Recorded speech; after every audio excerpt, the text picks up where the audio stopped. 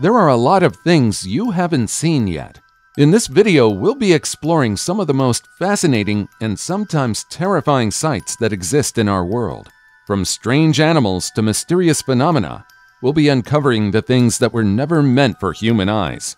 So sit back, relax, and get ready to be amazed by the incredible sights you never knew existed.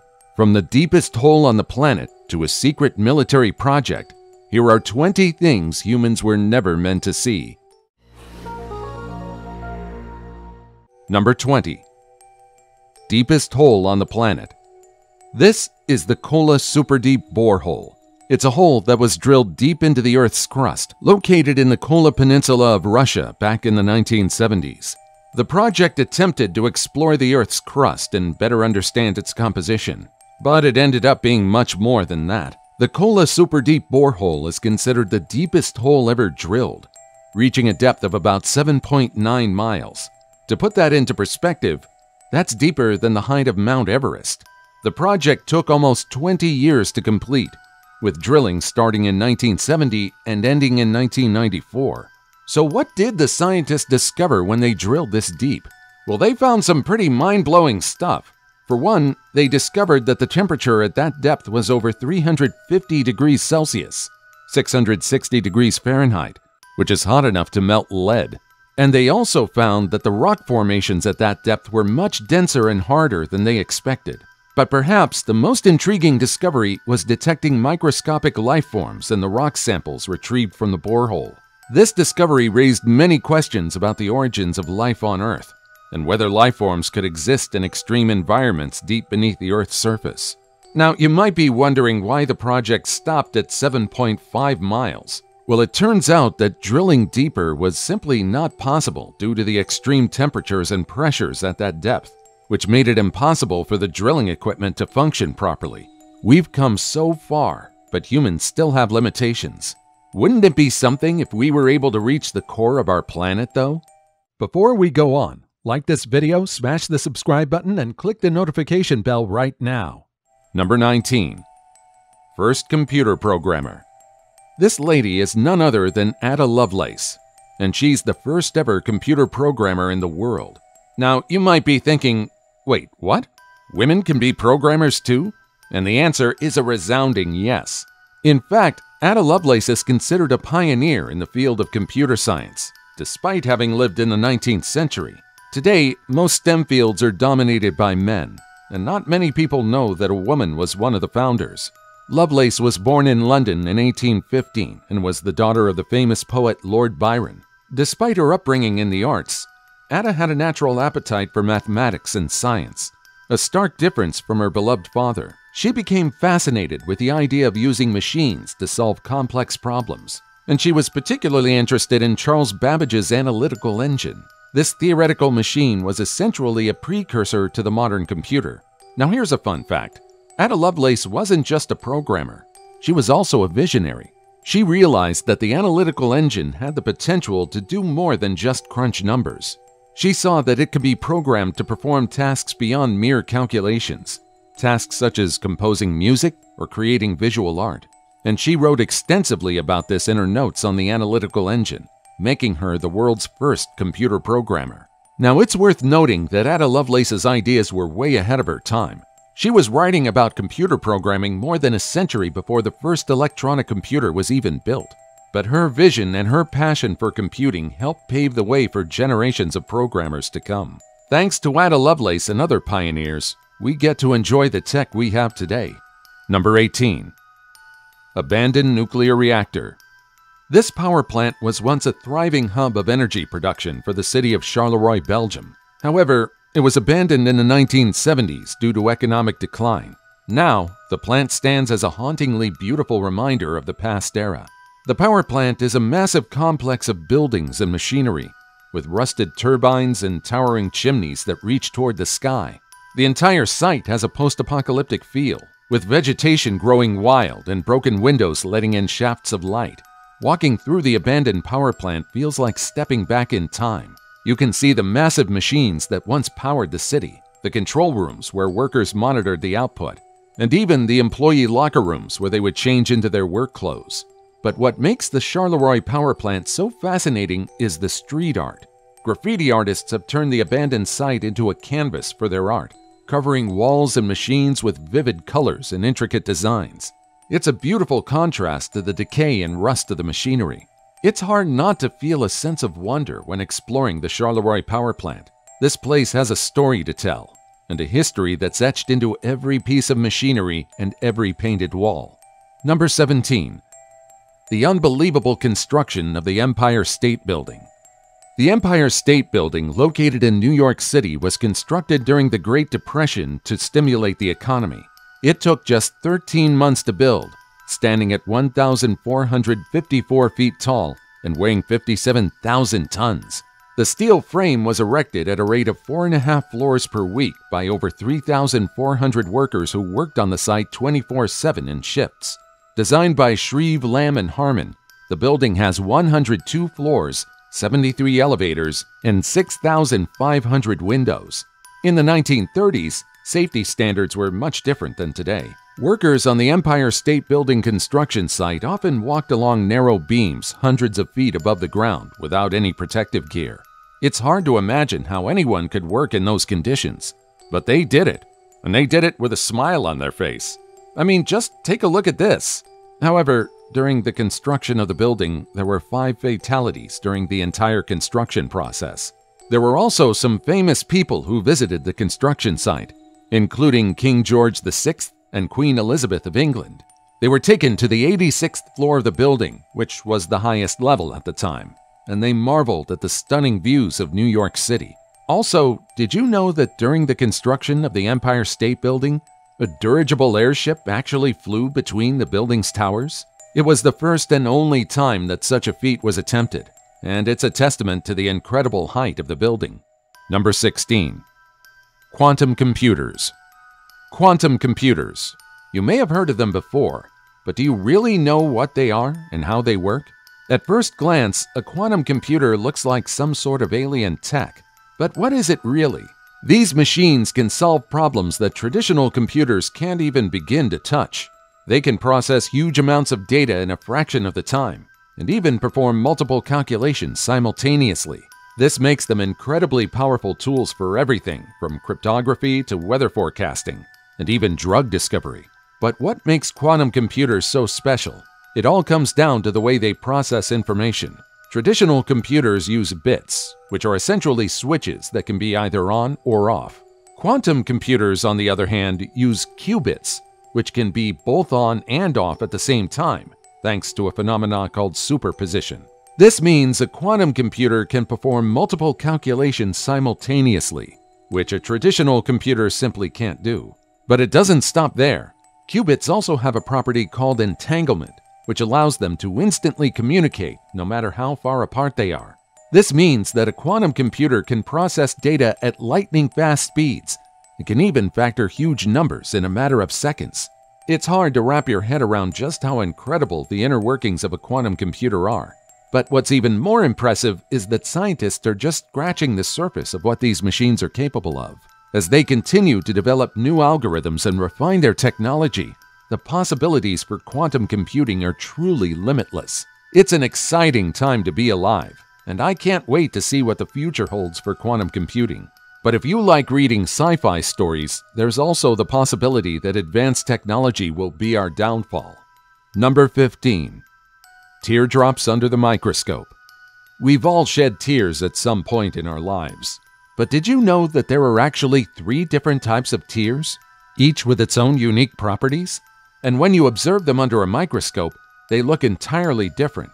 Let's dive into the science behind tears and find out why. The first type is called basal, which are tears that are constantly present in our eyes to keep them lubricated and prevent dryness. The second type is reflex tears, triggered by things like chopping onions, getting something in your eye, or experiencing strong emotions like sadness or joy. The third type is emotional tears, which are shed in response to intense feelings of joy, sadness, or stress. Now let's examine why these tears look different under the microscope. When we observe basal tears, they appear clear and watery, with very little structure or debris. This is because they're mostly made up of water, salt, and a few other compounds that help keep our eyes moist. Reflex tears, on the other hand, are more complex. They contain higher levels of antibodies, enzymes, and other proteins that help fight off any potential irritants or infections that triggered the tears in the first place. This is why reflex tears appear slightly cloudy under the microscope. Emotional tears are the most complex of the three. When observed under a microscope, they contain not only water and salt, but also stress hormones like cortisol and adrenaline, as well as other proteins that aren't present in basal or reflex tears. This makes emotional tears look even cloudier and more opaque under the microscope. Over 100 tears were collected from the primary researcher on this project, volunteers, and even a newborn baby to determine if there were different types. Pretty cool, don't you think?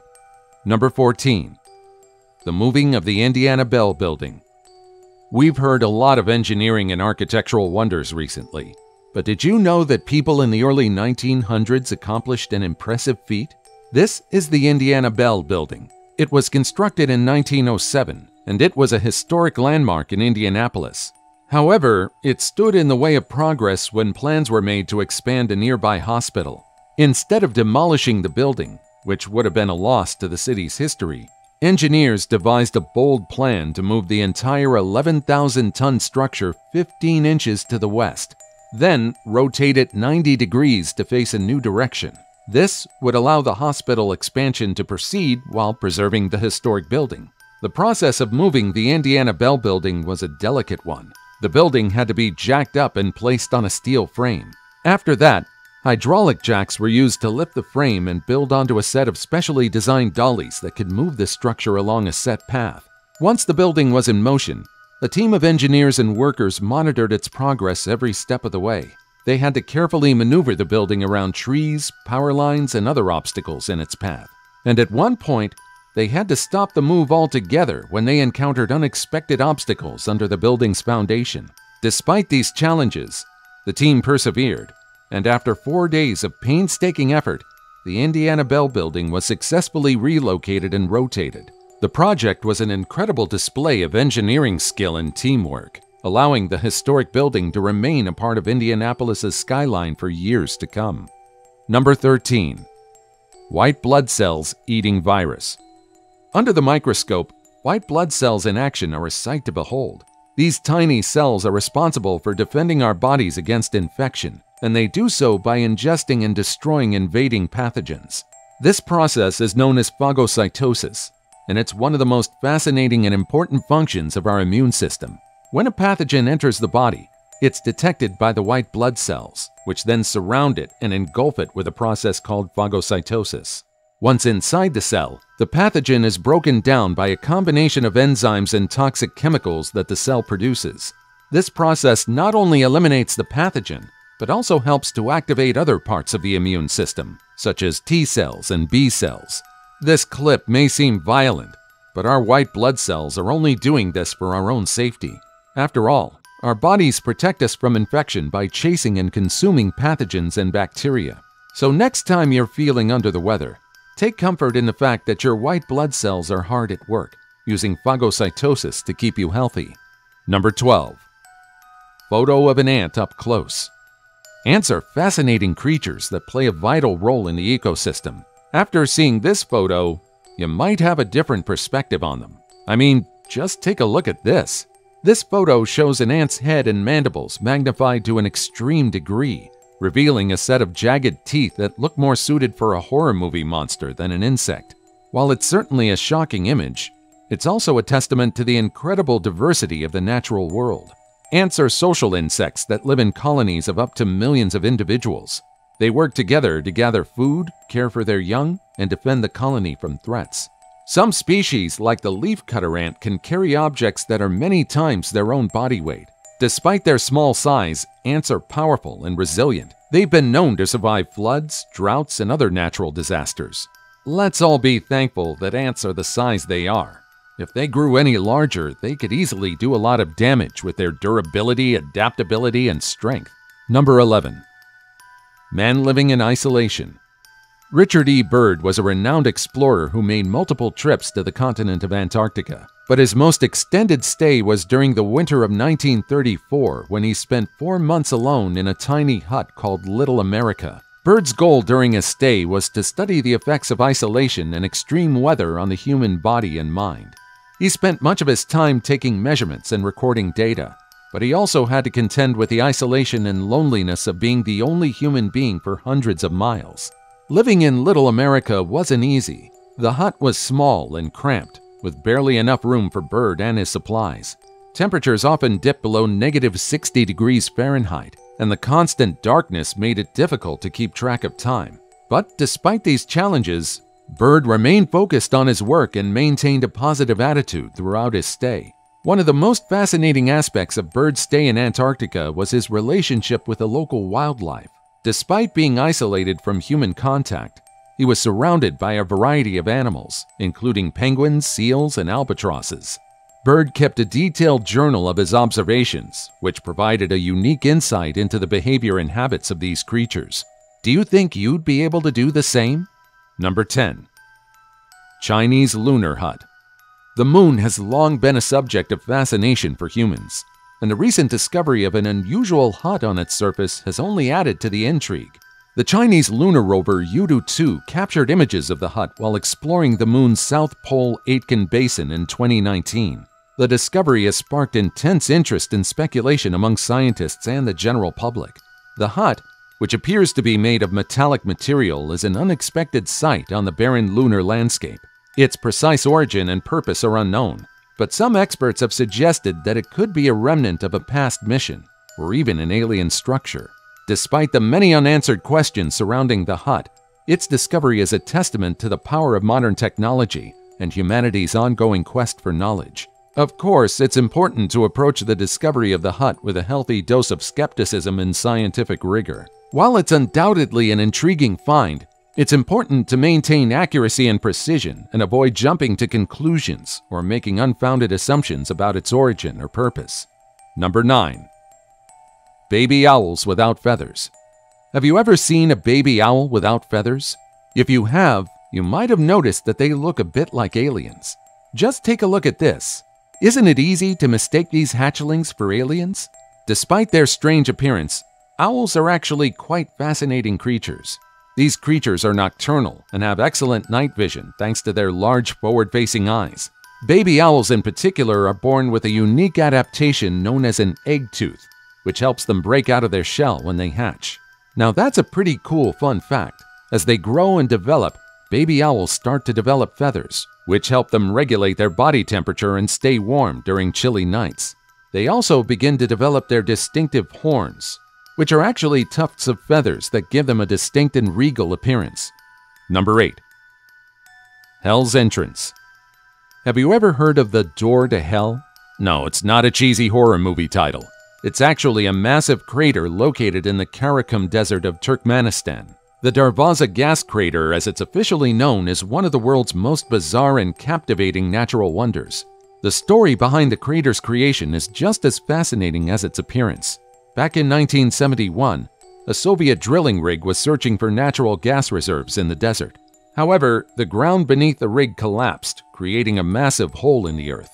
Fearing the release of poisonous gas, the scientists decided to set the hole on fire, thinking that the gas would burn off in a few days. That was over 50 years ago, and the crater is still burning to this day. The fiery pit measures 69 meters in diameter and 30 meters deep, and the flames have been burning non-stop since 1971. The orange glow and heat emanating from the crater can be seen from miles away, making it an otherworldly sight to behold. Visitors to the crater describe the experience as both eerie and awe inspiring. The intense heat and roaring flames create an intense atmosphere, and the sound of the fire crackling can be heard from quite a distance. The sulfuric smell is overpowering, and the ground surrounding the crater is barren, blackened, and lifeless. Number 7. Pitcher Plant This is the pitcher plant. Well, at least this is one of its species. These plants have been around for centuries, but they still manage to capture our attention with their unique physical characteristics and survival tactics. Pitcher plants are found all over the world, with the greatest diversity found in Southeast Asia and Australia. There are over 170 species of pitcher plants, each with its own unique adaptations to its environment. This pitcher is filled with a liquid that contains digestive enzymes, which helps the plant trap and digest insects and other small creatures that fall into it. It might be hard to believe, but this plant can easily digest an insect or a small rat. What's really interesting about these plants is that they have evolved to thrive in nutrient poor environments such as bogs and swamps. They are true carnivores who consume insects to obtain the necessary nutrients to survive. The pitcher plant is also known for its ability to attract its prey. Some species have evolved intricate patterns and bright colors to attract insects to the pitcher. Other species have even evolved to produce nectar around the pitcher's rim to lure insects closer. Interestingly, some species of pitcher plants have also developed symbiotic relationships with insects. For example, the Camponotus schmitzi ant species lives exclusively within the hollows of the Nepenthes bicalcarata pitcher plant. The ant protects the plant from other insects, and in return, they receive a safe haven and access to the plant's nectar. Number 6. The Hands Resist Him The Hands Resist Him is a painting famous for its supposed haunted nature. The painting depicts a young boy standing beside a creepy doll, with his hands extended towards a glass door. In the background, many disembodied hands are reaching out toward the boy and the doll. The painting was created by artist Bill Stoneham in 1972 and has since gained notoriety for its eerie and unsettling qualities. The story behind the painting is what has really captured the imagination of people around the world. The painting was initially sold to a California art gallery in the 1970s, but was later discovered by a couple who had bought it at an auction in 2000. The couple claimed that strange things had started to happen in their home after they hung the painting on their wall. They reported that they often heard the sound of footsteps coming from the room where the painting was hung, and that they had even witnessed the figures in the painting moving and changing positions. Despite the many claims of paranormal activity associated with the painting, there's no concrete evidence that the artwork is truly haunted. Some skeptics have suggested that the eerie qualities of the painting are simply the result of clever marketing and artistic manipulation. Regardless of whether or not the painting is genuinely haunted, it's undeniable that the hands resist him has become a famous artwork in the occultism community. Number 5. Tumors with teeth and eyes. Teratomas are tumors that contain different types of tissues, such as hair, teeth, bone, and even organs. They are fascinating yet creepy. Imagine seeing one of these tumors being extracted from someone's back, only for the lump of flesh to have eyes. When we think of tumors, we often picture a mass of cells growing uncontrollably. But teratomas are different. They're like a bag of surprises. They can contain different types of tissues, including those that are usually found in other parts of the body. Teratomas can occur in both males and females, and they can develop in different locations in the body, including ovaries, testes, and brain. But what makes teratomas even more interesting is the fact that they can sometimes develop into a fetus like structure. This is because teratomas contain cells that are capable of morphing into various tissues, including those that make up an embryo. This can lead to the development of hair, teeth, bone, and even organs. In some cases, teratomas can even develop limbs, making them look like tiny monsters. Although teratomas are usually benign, which means they're not cancerous, they can still cause problems. If they grow too large, they can press on nearby organs and tissues, causing pain and discomfort. In some cases, they can even rupture, which can lead to life threatening complications. The human body is really weird, huh? Number 4. Monkey Puzzle Tree The monkey puzzle tree, also known as Araucaria araucana, is a unique and peculiar tree that is native to Chile and Argentina. This fascinating species has a striking appearance, with a spiky pine cone like shape and long, sharp leaves that can be up to 4 inches long. The tree's distinctive look makes it a popular choice for landscaping and decoration. It's popular in Chile and Argentina, but it isn't as well recognized around the rest of the world. One of the most fascinating things about the monkey puzzle tree is its ancient history. This tree is actually a living fossil, with evidence dating back to the Jurassic period, around 200 million years ago. This means that the tree has been around for longer than most modern plants and animals, and has survived through a variety of environmental changes and mass extinctions. Unfortunately, the monkey puzzle tree has also been the subject of controversy in regard to conservation efforts. The tree's slow growth and limited distribution have made it vulnerable to overharvesting and habitat destruction, and it's now considered a threatened species. Hopefully, the present generation will be able to preserve these trees for the years to come. Number 3.